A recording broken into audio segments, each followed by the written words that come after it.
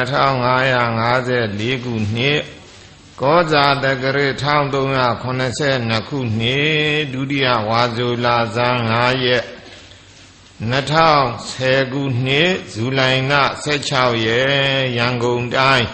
စမ်းကြောင်းမြို့နယ်အောင်ချမ်းသာရပ်ကွက်သီရိမင်္ဂလာလံကမ်းမြင့်ကျောင်းတိုက်ဓမ္မယုံယနေ့ညမတီတရားပွဲအလှရှင် 16ခု2009ခုနှစ်တွင်ကွယ်လွန်သွားသောဥအေးကြီးအားရည်စူး၍ဇနီးတော်ခင်ကြီးသမီးမကြီးကြီးလမကြီးကြီးဝင်းမိသားစုအမှတ်41ဆက်တလန်းလမ်းမတော်မြို့နယ်ကုသိုလ်ကောင်းမှုပြုကြနော်ကုသိုလ်ကောင်းမှုပြုကြတယ်လူကြတယ်တန်းကြတယ် ဆရာတော်လည်းပဲဒီနေ့အလှူတွေလှူကြတော့ဝိထုငွေတွေလည်းအများကြီးရပါတယ်ပစ္စည်းတွေသင်္ကန်းတွေလည်းအများကြီးရဆရာတော်လည်းကြောင်းရှိတဲ့ကိုရင်လေးတွေဥစဉ်လေးတွေမရှိတဲ့ကိုရင်တွေလာဟေးဆိုပြီးတော့လှူလိုက်တာပါပဲနော်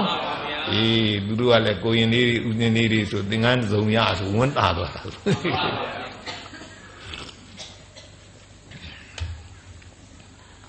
ဒီနေ့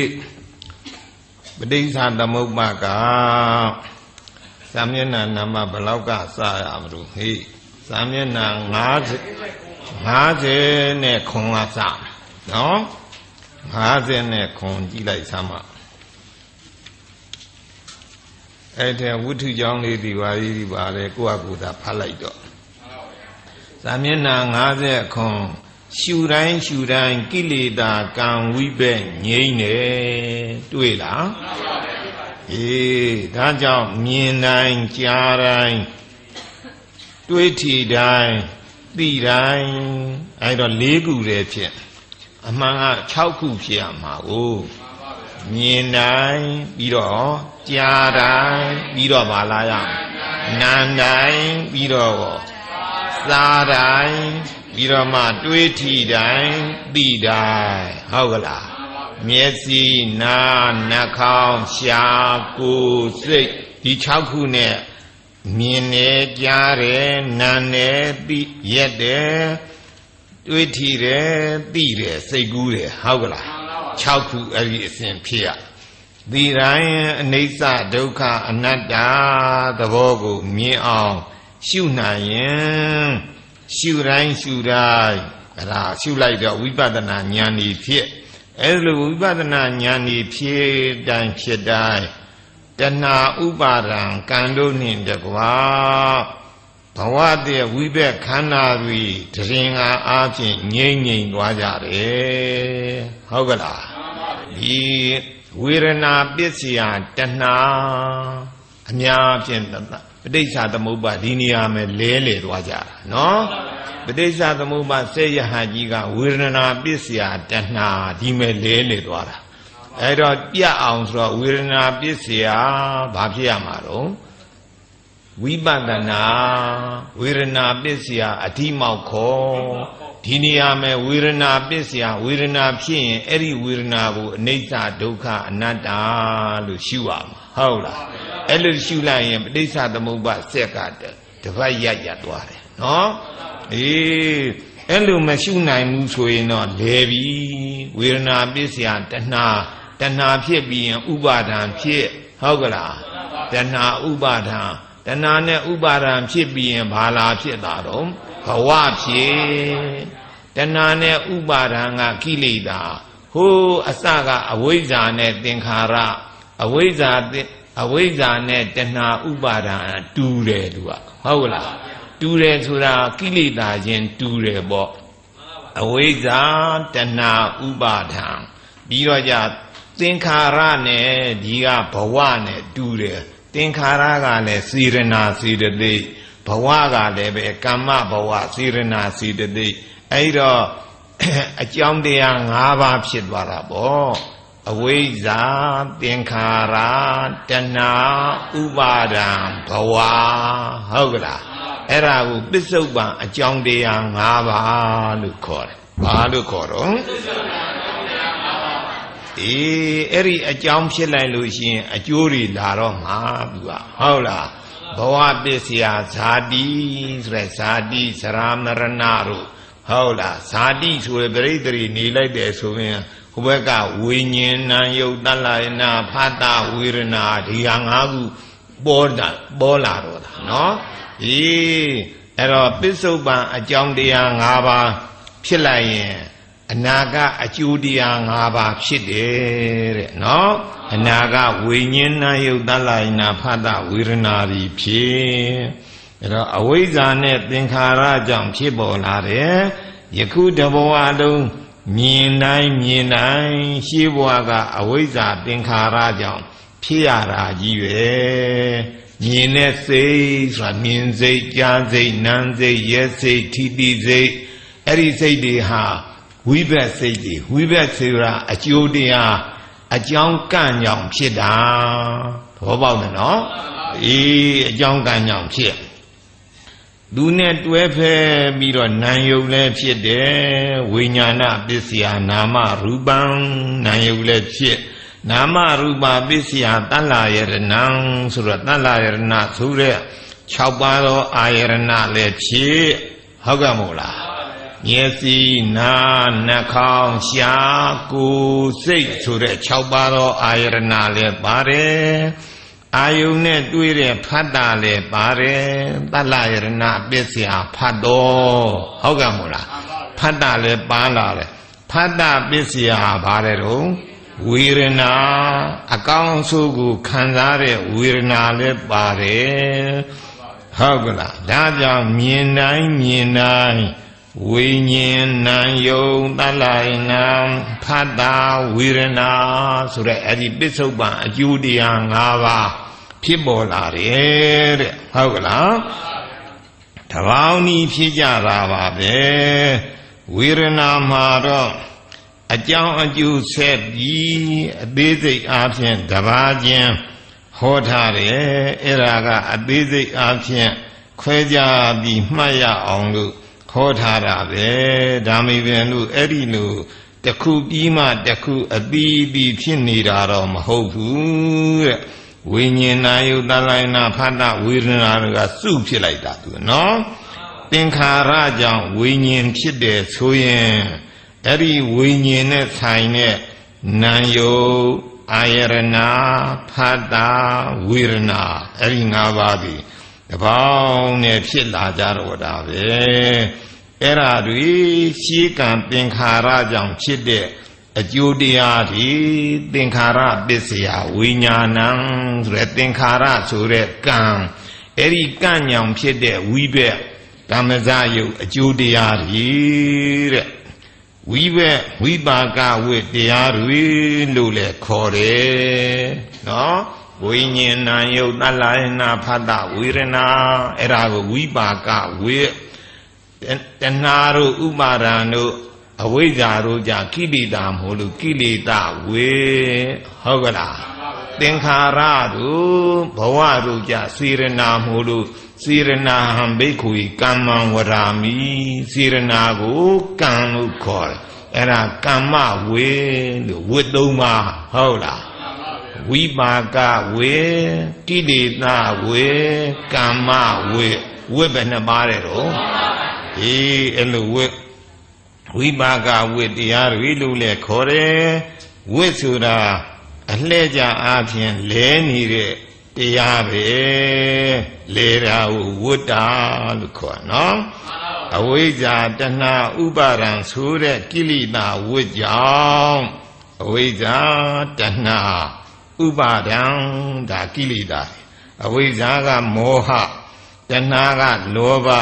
ဥပါဒံကတော့လောဘဒိဋ္ဌိမောဟနော်အဲ့ဒီအဝိဇ္ဇာတဏှာဥပါဒံလို့ဆိုတဲ့ကိလေသာဝိကြောင့်ကိလေသာတွေရှိတဲ့အတွက်ကြောင့်ကံနဲ့သင်္ခါရ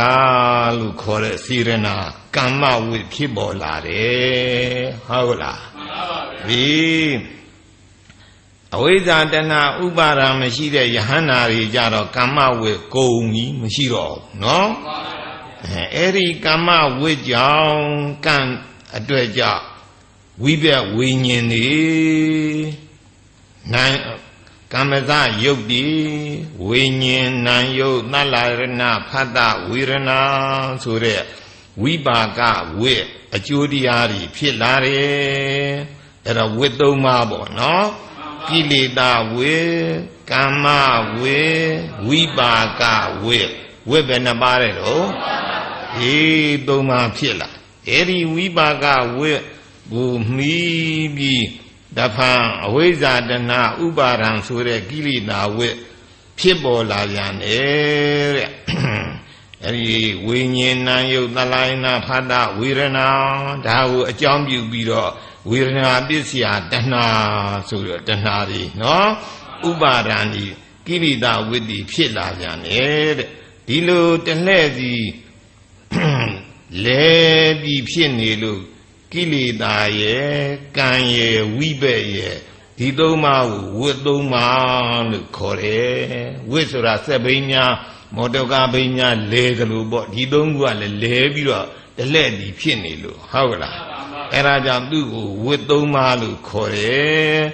အဲ့ဒီသုံးပါးကယခုပြောနေတဲ့ဝိညာဉ်နံယုတ်သလယရဏဖတ်တဝေရဏဆိုတဲ့တရား၅ပါးကိုတော့ဝိပါကဝိလို့ခေါ်တယ်သူတို့ကအကျိုးတရားတွေနော်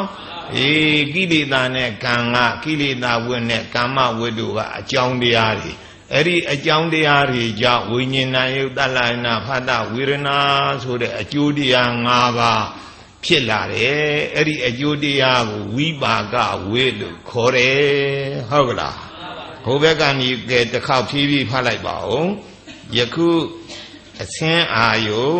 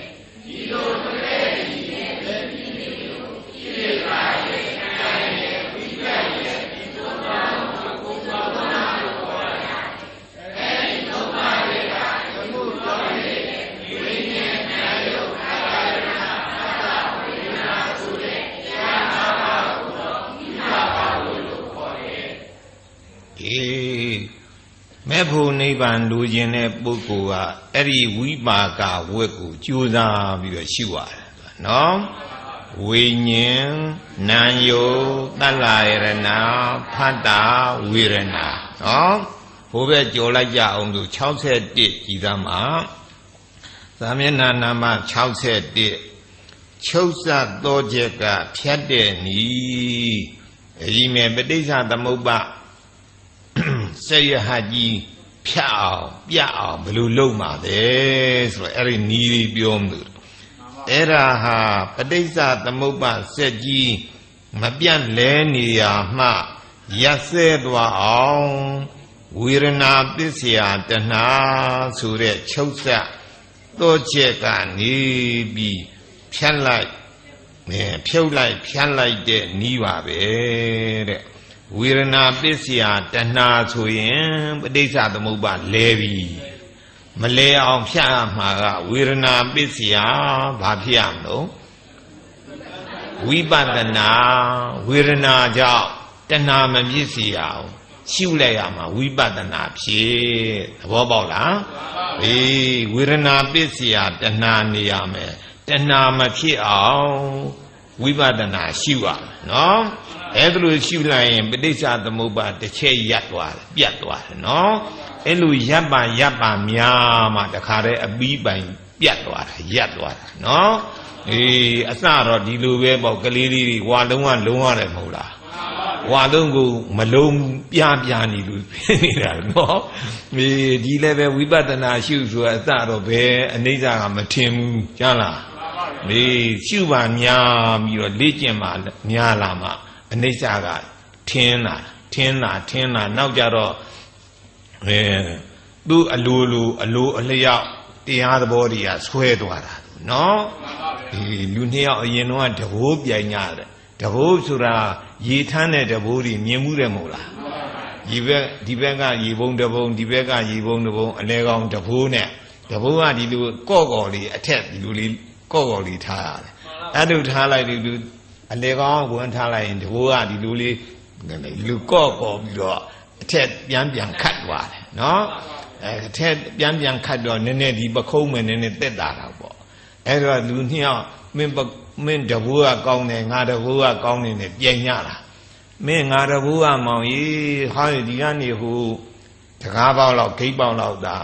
လူထမ်းနေရတာနောက်ကြတာသူ့ဟာလူခတ်သွားတာဘာမှလူထမ်းကြမလို့ အဲ့လိုပြောတယ်ဟိုကောသူကနိုင်သွားတာပေါ့သူဟိုကောင်းတဘိုးကတော့ပခုံးမော်တင်းနေသေးတာဟုတ်ဟုတ်လားဒီကောင်းတဘိုးကတော့အဲဒီလိုခတ်ခတ်ခတ်ခတ်သွားရတာတော်တော်လေးအရှိန်နဲ့ရလာဟောတဘိုးနဲ့ပခုံးနဲ့မထိတော့ဘူးသူကသူခတ်သွားတယ်အဲဝိပဿနာကလည်းအဲ့လိုပဲအစပိုင်းတော့ကြိုးစားပြီးတော့ရှုရတာပေါ့နောက်ပိုင်း အားကောင်းလာပြီဆိုသူကသူရှုသွားတာသူကတရားတော်ကြီးอ่ะเนาะဒီအဲ့ဒါလို့သူကသူရှိသွားအောင်ကြိုးစားရတာဝေဒနာပစ္စယတဏှာဆိုတဲ့ချုပ်စတော့ချက်ကနေပြီးဖြုတ်လိုက်ဖြတ်လိုက်တဲ့နီးပါပဲဒါကြောင့်တန္တရာစက်ကြီးမလဲစေခြင်းရင်မြင်တိုင်းမြင်တိုင်း ဝေဒနာကဆက်ပြီးတဏှာမဖြစ်အောင်ရှုရတယ်ဝေဒနာပစ္စယတဏှာတဏှာမလာစီရဘူးနော်ကြားတိုင်းကြားတိုင်းလည်းရှုရတယ်ဒါမျက်စိနားပြီးတော့နှာခါဒီနန္တိုင်းဒီလေဒါလည်းပဲနန္တိုင်းနန္တိုင်းလည်းရှုရတယ်နှာခေါင်းပြီးတော့ပါလားမလို့ ရှာစားတိုင်းစားတိုင်းလည်းရှုရတယ်သဘောပေါက်တယ်နော်ပြီးတော့ရှာပြီးတော့ပါလားမလို့ကိုတွေ့တိုင်းတွေးထီတိုင်းလည်းရှုရတယ်ပြီးတော့ပါလားမလို့စိတ်ကူစိတ်ကူတိုင်းစိတ်ကူတိုင်းစဉ်းစားကြံစည်တိုင်းလည်းရှုရတယ်အကျဉ်းချုပ်အားဖြင့်ဆိုရင်ဒီ6ဌာနက မျက်စိနားနှာခေါင်းရှားကိုယ်စိတ်ဆိုတဲ့အဲ့ဒီ6ဌာနကမပြတ်ရှုမှတ်နေုံပါပဲဒီ6ဌာနထဲမှာတွေ့ထီတယ်ဆိုတော့မဟာဘုတ်ရုပ်ကြမ်းတွေမှုအထင်အရှားဆုံးပါပဲကာယ द्वार ဟာအထင်ရှားဆုံးပဲเนาะ အေးမဲ့ဖို့နိဗ္ဗာန်လိုချင်တဲ့ပုဂ္ဂိုလ်ကဘယ် द्वार ကကြိုးစားရှုရမလို့ အေးကာယဓာရကနေပြီးတော့ကြိုးစားရှုอ่ะ तू ကဘယ်နဲ့ကြောင်လုံးဆိုတော့ပထဝီတေဇောဝါယောဖုဒ္ဓဘာယုဆိုတော့ထိတာနာတယ် तू อ่ะเนาะအေးထိတာနာမျက်စိကိုဒီလိုမြင်တာနဲ့ဒီခန္ဓာကိုယ်တူလေးနဲ့တစ်ချက်လောက်ခေါင်းထုလိုက်ဘယ်ဟာနာမလို့တူလေးနဲ့ထူတာနာတာပေါ့เนาะအေးအဲ့ဒါကြောင့်ဒီသူကဖွဋ္ဌပယုတ်ကိုအဲ့ဒီကာယဓာရကြိုးစားရှုတဲ့ ဒီဟိုဘက်ကပြောပွဲဆရာတက်ကြီးတို့အဲ့လိုရှုတယ်မဟုတ်လားအဲ့ဒါမက်ဖို့နိဗ္ဗာန်အမြန်ဆုံးရတဲ့နီးနော်ဒါကြောင့်တရားအထုတ်ခါသပုဂ္ဂိုလ်ဟာအဲ့ဒီတွေးထီရာဌာနကစပြီးရှုမှတ်ရတယ်ကာယ द्वार ကစရှုမှတ်ရတယ်နော်အေးပဋိစ္စသမုပ္ပါဆက်ရဟကြီးဖြတ်ခြင်းနဲ့ဆိုလဲကာယ द्वार ကစပြီးတော့ကြိုးစားဖြတ်ကြတဲ့ကဲ ဖြတ်လိုက်ပါအောင်လို့ဖတ်လိုက်ပါအောင်ချုပ်စတော့ချက်ကဖြတ်တဲ့နီးဖတ်လိုက်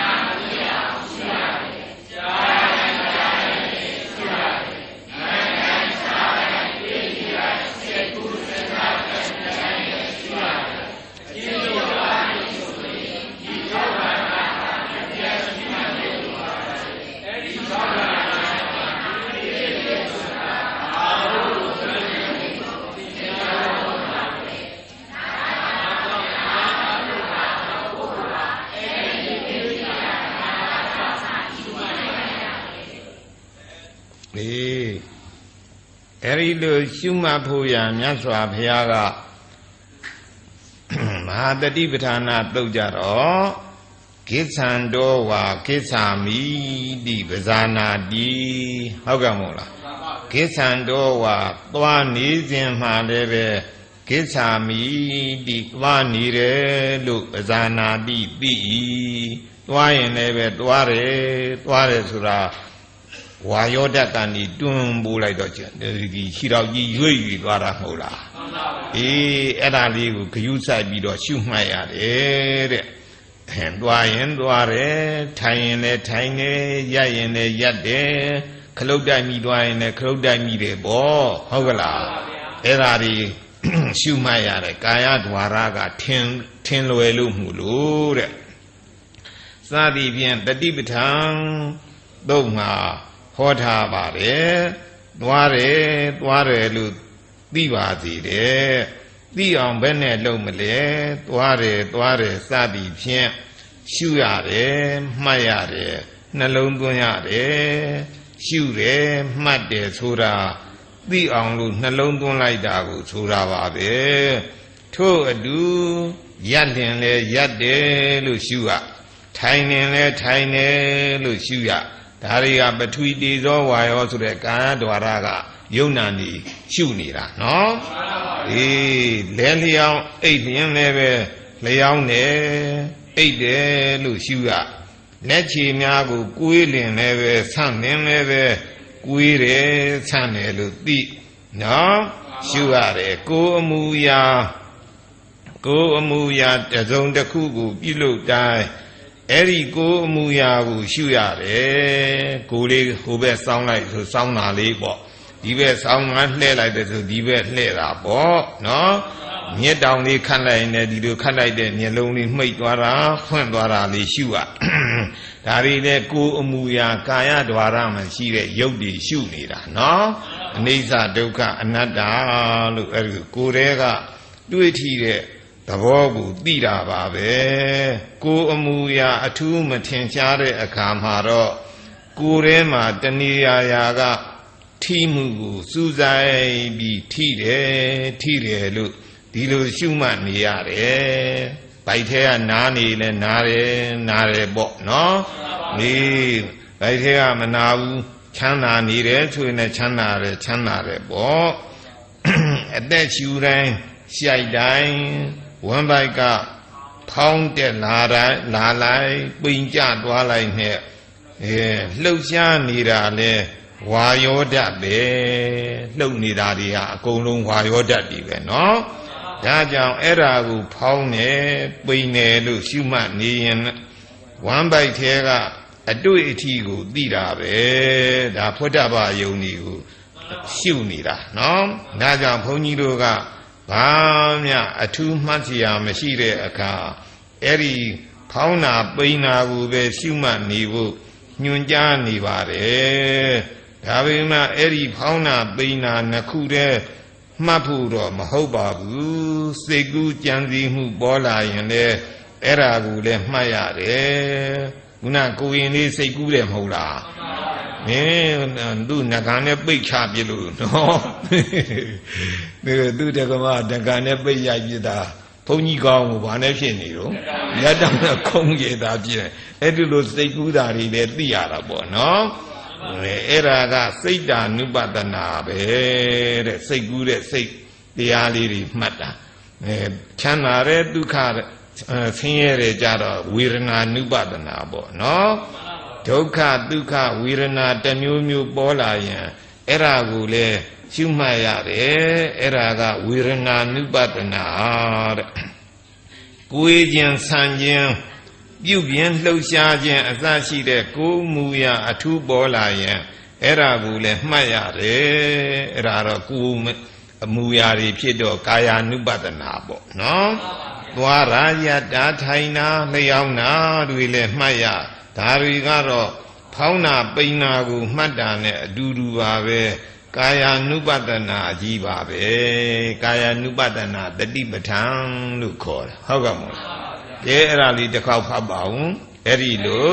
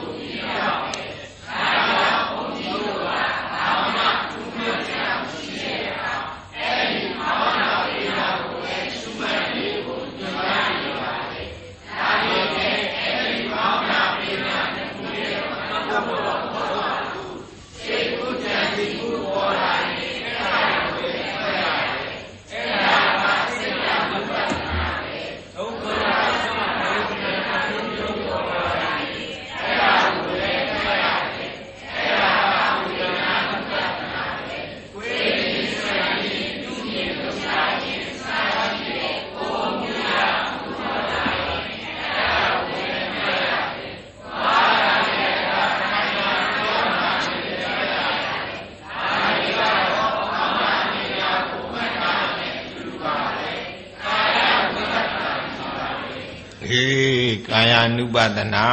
ဆိုတော့ရုပ်ခန္ဓာကိုယ်ကြီးကိုမှတ်ရင်ကာယ ानु ပါဒနာဝေဒနာစေတသိက်ကလေးဆင်းရဲတယ်ချမ်းသာတယ်မဆင်းရဲမချမ်းသာအလေလဝေဒနာလေးအဲ့ဒါလေးကိုရှုရင်တော့ဝေဒနာနုပါဒနာမြင်စိတ်ကြားစိတ်နံစိတ်ရဲ့စိတ်ထီတိစိတ်စိတ်ကူးစိတ်စိတ်ကလေးမှတ်ရင်တော့ စိတ်ဓာနုပါဒနာကြံတဲ့တရားတွေမှတ်ရင်တော့ဓမ္မာနုပါဒနာလို့ခေါ်တယ်နော်ပြီးတော့ရှေ့ဆက်ကြည့်ပါဦးနောက်ပြီးတော့ကြည်တာမြင်တာကိုလည်းမှတ်ရတယ်ကြည်လိုက်တယ်မြင်တယ်နော်အဲ့ဒါကမြင်စိတ်မျက်စိပေါက်ကနားထောင်တာကြားတာကိုလည်းမှတ်ရတယ်ဒါကနာနော် အနတ်နန္နာကိုလည်းမှတ်ရတယ်ဒါကနှာခေါင်းနော်စားတော့တာကိုလည်းမှတ်ရတယ်ဒါကရောရှာမေးမှတ်ရနော်ပြီးတော့ကျင်ကြီးကျင်ငယ်စွန့်နာကိုလည်းမှတ်သားတာမှတ်သားရသေးတာပဲကျင်ကြီးစွန့်တယ်ကျင်ငယ်စွန့်တယ်ဒါတွေလည်းပဲယုတ်တရားတွေနော်ဝါရ6ပါးမှာထင်ပေါ်လာသမျှကိုအကုန်လုံးပဲမှတ်ရ ဘာမှမကြံပါဘူးဒါကြောင့်တမာရိညာရင့်ကျက်နာတဲ့အခါမှာဓဝရ6ပါးကပေါ်လာသမျှဝိညာဉ်နာယုတတ္လာယရဏဖတ်တာဝေရဏဒါပစ္စုပန်အကျိုးတရား၅ပါးဟုတ်ကလားပစ္စုပန်အကျိုးတရား၅ပါးမဲ့ဖို့နိဗ္ဗာန်လိုချင်တဲ့ပုဂ္ဂိုလ်ဟာဒီအကျိုးတရား၅ပါးကိုကြိုးစားမှတ်ရတယ်နော် အေးပဋိစ္စသမုပ္ပါနဲ့ဆိုရင်ဒီအကျိုးတရား၅ပါးအဲ့ဒါတွေကထင်လွယ်တယ်ပေါ့ဝိညာဉ်နာယုတတ္လာယရဏဖတ်တာဝေရဏဆိုတဲ့သဘောတရားတွေဟာဖြစ်ပြီးပြက်ဖြစ်ပြီးပြက်နဲ့မမြဲတဲ့တရားတွေကြီးပဲလို့ကိုယ်ပိုင်ညာဖြင့် ရှင်းရှင်းလင်းလင်းသိရတယ်အဲ့ဒါဆိုဥပဒနာညာဖြစ်ပြီနော်ဖြစ်ချီပြက်ချီနဲ့ဖြစ်လိုက်ပြက်လိုက်နဲ့ဆင်းရဲကြီးပဲလို့သိလာတယ်။ဩဆင်းရဲတယ်လို့သူသဘောအတိုင်းပဲသူဟာသူဖြစ်နေတဲ့အနတ္တသဘောတရားမျှပဲလို့လည်းသိရတယ်။ဖြစ်ချီပြက်ချီဆိုတော့အနိစ္စဟုတ်လား။ ဖြစ်ပြက်လို့မဆုံးဘူးခဏခဏဖြစ်ပြက်နေဒုက္ခသူ့သဘောအတိုင်းသူဖြစ်ကိုဖြစ်ခြင်းလို့ဖြစ်ကြလားဖြစ်ပါမဖြစ်တော့ပါတော့အနတ္တအဲ့လိုသူပြည့်ပြည့်သူဖြစ်ပြနေတဲ့အနတ္တသဘောတရားမျှပဲလို့လည်းသိရတယ်ဒီလိုသိရတဲ့အတွက်အဲ့ဒီမြင်မှုကြားမှုကြားတဲ့ဘာဖြစ်အောင်နော်နာမှု ယက်စားမှုဒါတွေလည်းပါရမှာပေါ့ဟုတ်လားတွေ့တွေ့မှုကြံသိမှုခံစားမှုတွေနဲ့စပ်ပြီးတောင်းတသားရမှုတဏှာမဖြစ်ရတော့ဘူးအဲ့လိုရှုပါများလာတော့တဏှာကမဝင်နိုင်တော့ဘူးတဏှာနေရာကိုဝိပဿနာရောက်လာတယ်ဟုတ်လားဝေဒနာပစ္စယတဏှာလို့ဖြစ်ရမယ်အစားဝေဒနာပစ္စယဝိပဿနာလို့ဖြစ်လာတယ်နော် ဒီတဏှာမဖြစ်ရတော့ဥပါဒံကံနဲ့ဘဝတည်ဆင်းရဲတွေလည်းမဖြစ်တော့ဘူးအဲ့ဒါကြီးချုပ်ငိမ့်သွားတာပေါ့နော်အေးတဏှာမဖြစ်လို့ဥပါဒာမဖြစ်ဥပါဒာမဖြစ်တော့ဘဝဆိုတဲ့ကံလည်းမဖြစ်ကံမဖြစ်တော့နောက်ဇာတိဆိုတဲ့ပရိသေရီလည်းမဖြစ်ဇာတိမဖြစ်တော့ဇရာမရဏတွေလည်းမဖြစ်တော့ဘူးပေါ့တဲ့သဘောပေါက်တယ်နော် ဘဝတည်ဆင်းရဲတွေလည်းမဖြစ်ရတော့ဘူးဒါဟာဝေရဏကြောင့်တဏှာဖြစ်တတ်တယ်ဆိုတဲ့တော့ချက်ကနေပြီးဒါတော့ချက်ကလေးတဲ့ပဋိစ္စသမုပ္ပါစေယဟဖြတ်ဖို့ရဝေဒနာပစ္စယတဏှာဒီနေရာကဖြတ်ရမှာတဲ့ဖြတ်ဖို့နေရာလေးတွေ့ပလားအေးဝေဒနာပစ္စယ တဏှာဝေဒနာကြောင့်တဏှာဖြစ်တယ်တဏှာဖြစ်တတ်တယ်ဆိုတဲ့တော့ချက်ကနေပြီးတဏှာမဖြစ်အောင် ဖြတ်ပြီးပဋိစ္စသမုပ္ပါတန္တရစက်ကြီးကိုမလဲနိုင်အောင် ဖြတ်ပုံပါပဲဖြတ်ပုံဖြတ်နေပြီးပြီနော်ကဲအဲ့ဒါလေးဖတ်လိုက်ပါဦးနောက်ပြီးတော့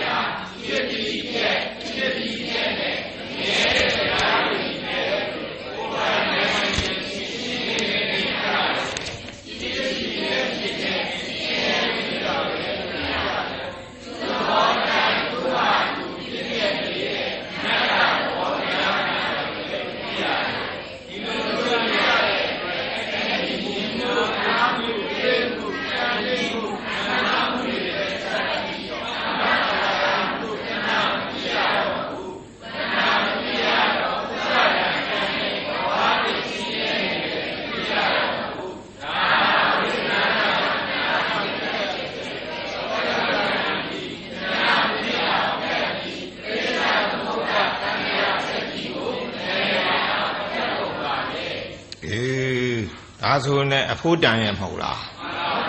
အေးအဖို့တန်တယ်နော်ပဋိစ္စသမုပ္ပါဒ်ဆက်လဲနေတာရက်ကုန်မရဘူးမှု့နေအောင်လဲတာသူကဟုတ်ကလားအခုဖြတ်ဖို့ရနေရာလေးသိပြီဖြတ်ပုံဖြတ်နည်းလေးလည်းပဲအနေစာဒုက္ခအနတ္တတခုခုနဲ့ဖြတ်ရမှာနော်သုံးခုလုံးလည်းလို့မဟုတ်ပါဘူးအဲတခါတလေအနေစာလို့ထင်တယ်ပေါ့အနေစာလို့ထင်ရင်အနေစာနဲ့ဖြတ်လိုက်ပြတ်သွားတာပဲနော် ဒုက္ခလို့ထင်ရင်ဒုက္ခနဲ့ဖြတ်လိုက်ဝိပဿနာဉာဏ်အနိစ္စ ानु ပဒနာဉာဏ်ဒုက္ခ ानु ပဒနာဉာဏ်အနတ္တ ानु ပဒနာဉာဏ်လို့ဒီဟာသုံးခုမဲ့တစ်ခုခုနဲ့ဖြတ်လေအဲသိပြီနော်အေးနောက်နည်းနည်းကြော်လိုက်အောင်မယ်ကြော်လိုက်အောင်မယ်ဆရာတော်ကြော်တာတွေကများပြီဆိုမကြော်လည်းပြီးပါမုံလို့မလို့ပါနော်ကြားတဲ့ဟာတွေပြီးအောင် ဟောပြလိုက်တာပေါ့ပြီးတော့စာမျက်နှာ83ကြည့်လိုက်သမှာစာမျက်နှာ83တွေ့လားရှုပုံရှုနည်းကို ပြရခြင်းအကြောင်းဒီနေရာမှာပဋိစ္စသမုပ္ပါတရားတော်ဆိုပြီးဝိပဿနာရှုပုံရှုနည်းတွေကိုဘာကြောင့်ပြောနေရသလဲလို့တချို့က မေးကောင်းမေးကျင်ကြပေလိမ့်မယ်ပဋိစ္စသမုပ္ပါဟောတော်ပေါ့ဝိပဿနာရှုပုံရှုနည်းတွေဘာလို့ဟောနေတော့ဖျားဟုတ်လားအဲ့လိုမေးကောင်းမေးပါလိမ့်မယ်တဲ့အဲ့ဒါကိုရှင်းပြပါဦးမယ်ပဋိစ္စသမုပ္ပါဆိုတာသူဆိုင်ရာဆိုင်ရာအကြောင်းကြောင့်သူဆိုင်ရာဆိုင်ရာအကျိုးတရားအဆက်ဆက် ဖြစ်ပေါ်လာပြီအဝိဇ္ဇာကြောင့်သင်္ခါရဖြစ်တယ်သင်္ခါရကြောင့်ဝိညာဉ်ဖြစ်တယ်ဝိညာဉ်ကြောင့်နာယုတ်ဖြစ်တယ်ဒီလိုသူ့အကြောင်းကြောင့်သူ့အကျိုးတွေဖြစ်တာနော်ဒီလိုတဏ္ဍရာဝိဆင်းရဲတွေမပြတ်ဖြစ်နေပုံကိုပြတဲ့တရားဒါပေမဲ့ဒီတရားကိုဟောတာကတဏ္ဍရာဝိဆင်းရဲမပြတ်ဖြစ်နေပုံကို သိယုံမျှအတွက်တာရည်ရွယ်ပြီးဟောတာမဟုတ်ဘူးအဲ့ဒီတန္တရာဝိဆင်းရဲတွေပြတ်ဆဲသွားအောင်အထုတ်ဖို့အတွက်သရဏပြုပြီးဟောထားတာဖြစ်ပါတယ်တန္တရာ၄ဘုံနဲ့ပြောကျင်တာမဟုတ်ဘူးတန္တရာပြတ်ပုံလေဖះသိစေကျင်တာတဲ့ဟုတ်ကလားအေးတန္တရာ ဝဆင်းရဲတွေပြတ်ဆဲသွားအောင်အာထုတ်ဖို့အတွက်ဗราဏပြုပြီးဟောထားတာဖြစ်ပါတယ်ဒါကြောင့်သက်ဆိုင်ရာတန္တရဝဆင်းရဲပြတ်ဆဲသွားအောင်ကျင့်မုံကျင့်နည်းကိုထဲ့သွင်းပြရပါတယ်ပုံစံထုတ်ပြရင်အဝိဇ္ဇာကြောင့်သင်္ခါရဖြစ်သည်ဒါအကြောင်းအဝိဇ္ဇာအကြောင်းကြောင့်သင်္ခါရအကျိုးတရားဖြစ် သင်္ခါရကြောင့်ပဋိသရေဝိညာဉ်ဖြစ်သည်သင်္ခါရအကြောင်းခံလိုက်ရင်ဝိညာဉ်ပဋိသရေဝိပဝိညာဉ်လေးဖြစ်လာအဲလိုဆိုရမှာဘဝတည်းပဋိသန္ဓေဝိညာဉ်မဖြစ်စေလိုလျင်အကြောင်းသင်္ခါရအဝိဇ္ဇာကျင်းအောင်လေ့ကျင့်ရလိမ့်မည်ဟုတ်ကဲ့မို့လားနောက်ဘဝပရိသေဝိညာဉ်မဖြစ်စေခြင်းမူဆိုရင်သင်္ခါရမဖြစ်အောင်လုပ်ရမယ်တဲ့ အဲ့ဒါဘယ်လိုကျင့်ရမလဲသိဖို့လိုးလာပါတယ်ဒါကြောင့်အဲ့ဒီအဝိဇ္ဇာပစ္စယသင်္ခါရဆိုတဲ့အပိုက်မှာအဝိဇ္ဇာအဲဝိဇ္ဇာဉာဏ်ဖြစ်ပြီးအဝိဇ္ဇာဆိုတော့အဝိဇ္ဇာဝိဇ္ဇာကသိအဝိဇ္ဇာဆိုတာမသိမသိလို့ဒီသင်္ခါရဖြစ်တာကိုအဲ့တော့သင်္ခါရမဖြစ်စေခြင်းသိအောင်လို့လို့ပြောတာပေါ့ဟုတ်လား အဝိဇ္ဇာနဲ့အလေးဖြုတ်လိုက်အလေးဖြုတ်လိုက်ရင်ဘာကြံတော့ဝိဇ္ဇာပဲကြံအဝိဇ္ဇာဖြစ်အောင်လုပ်ရမှာတဲ့ကိုဗရာဝိဇ္ဇာတန်ဝိဇ္ဇာဆေးဝိဇ္ဇာခန္ဓာရိဝိဇ္ဇာအင်းဝိဇ္ဇာမန္တန်ဝိဇ္ဇာဒီဝိဇ္ဇာတွေမဟုတ်သေးဘူးဟုတ်လားဒီဟာအနိစ္စဝိဇ္ဇာဒုက္ခဝိဇ္ဇာအနတ္တဝိဇ္ဇာဒီဝိဇ္ဇာဉာဏ်ဒီဝိပဿနာဉာဏ်ဒီဖြစ်အောင်လုပ်ရမှာနော်အေး ဝိအဝိဇ္ဇာပစ္စယသင်္ခါရဆိုတဲ့အပိုက်မှာဝိဇ္ဇာဉာဏ်ဖြစ်ပြီးအဝိဇ္ဇာကင်းအောင်မောဟကင်းအောင်ရှုမှတ်ပုံကိုအတော်တင့်ပြခဲ့ပါတယ်နောက်ပြီးတော့ယခုမြင်လိုက်ကြားလိုက်တွေ့ထီလိုက်ဒီနေရာပဲမြင်လိုက်ကြားလိုက်ပြီးရင်ဘာလာရမလို့နံလိုက်စားလိုက်ဒါလေးလာရအောင်မယ်ပေါ့နော်ဒါလေးဆရာတော်ကကြောသွားလိုက်တဲ့သဘောပေါ့ မြင်လိုက်ကြားလိုက်နံလိုက်စားလိုက်တွေးထီလိုက်နဲ့ခံစားနေရတာဒီဟာအဲ့ဒီအဝိဇ္ဇာနဲ့သင်္ခါရဆိုတဲ့အတိတ်ဘဝကအကြောင်းကြောင့်ယခုခေတ်ဘဝတဘဝလုံးမှာမပြတ်ဖြစ်နေတဲ့ဝိညာဉ်နာယုံတလရဏဖတ်တာဝေရဏ၅ခုမဟုတ်လား အေးဒါပစ္စုပန်အကျိုးတရား၅ပါးအဲဝိညာဉ်နာယုံနလရဏဖတ်တာဝေရဏဆိုတဲ့ပစ္စုပန်ပေါ့အကျိုးတရား၅ပါးဖြစ်ပါတယ်အဲ့ဒီအကျိုးတရား၅ပါးလုံးမဲ့အဝိဇ္ဇာနဲ့တကွတဏှာဖြစ်เสียအခြေခံတရားတွေပဲဖြစ်ပါတယ်အထူးအားဖြင့်ဆိုရင်ဒီအကျိုးတရား၅ပါးတွေက ဝေရဏဟာတဏှာဖြစ်เสียအခြေခံတရားဖြစ်ပါတယ်အဲ့ဒီဝေရဏကိုအကြောင်းပြုပြီးတဏှာဖြစ်မိရင်တဏှာဖြစ်မိရင်ပဋိစ္စသမုပ္ပါကလဲပြီဟုတ်ကလားတဏှာဖြစ်လာရင်ဆက်ပြီးတော့ဥပါဒာနဲ့ကံဖြစ်ပြီးနောက်အနာဂတ်ဘဝသစ်ဆင်းရဲတွေဖြစ်ပေါ်သွားတော့မှာဧကံပဲဒါကြောင့်အနာဂတ်ဘဝဆင်းရဲမဖြစ်စေခြင်း ဝေရဏမှတဏှာမဖြစ်အောင်ဝေရဏပစ္စယတဏှာလို့အဲ့လိုမဖြစ်အောင်ဝေရဏပစ္စယဘာဖြစ်အောင်လုပ်မှာတော့ဝိပဿနာဝေရဏပစ္စယဝိပဿနာဖြစ်အောင်ကျင့်ရမှာတဲ့ဝေရဏမှတဏှာမဖြစ်အောင်ကျင့်ဖို့လိုလာပြန်ပါတယ်ဒါကဒီမှာအရေးအကြီးဆုံးလူရင်းအချက်ဖြစ်ပါတယ်ဒါကြောင့်ဝေရဏမှဆက်ပြီး တဏှာမဖြစ်အောင်ကျင့်ကြံအားထုတ်နည်းကိုကောင်းကောင်းသဘောပေါက်အောင်လို့ဒီနေရာမှာဝိပဿနာရှုပုံရှုနည်းကိုထက်ခါထက်ခါအကျေပြနေခြင်းဖြစ်ပါတယ်ကဲတစ်ခေါက်လောက်ဖတ်လိုက်ပါဦး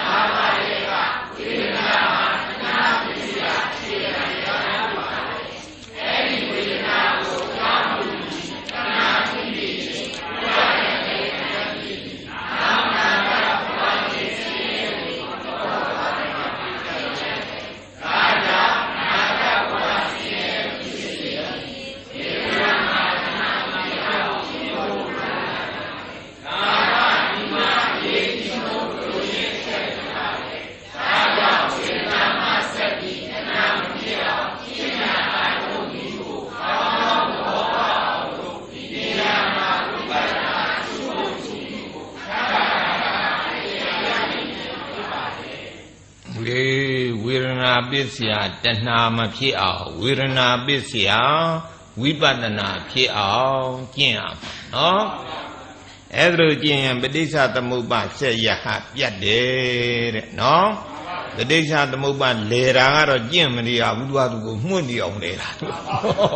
အေးပြတ်အောင်ကခက်တာနော်အေးပဋိစ္စသမုပ္ပါလေအောင်များကျင့်မနေကြနဲ့နော်သူကသူလဲနေတာသူကနော်အေး အဲ့ဒါဝေဒနာပစ္စယတဏှာတဏှာပစ္စယဘာလာမှာတော့ဥပါဒါနံဟိုဘက်ကသာမျက်နှာ89ကြည့်လိုက်သမ်းပါဦးပဋိစ္စသမုပ္ပါတရားတော်ကြီးဆရာတော်ကြီးဟောတာ1324ခုဝါကောင်လာဇန်ရှိရဲ့နေ့ဟောသည်တဲ့ဟုတ်လား တွေ့တယ်နော်တတ္တမဘိုင်တဏှာပစ္စယဥပါဒါနံ